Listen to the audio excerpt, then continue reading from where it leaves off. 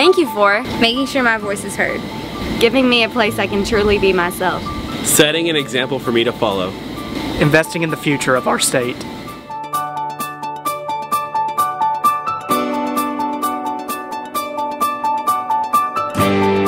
We all need the Y!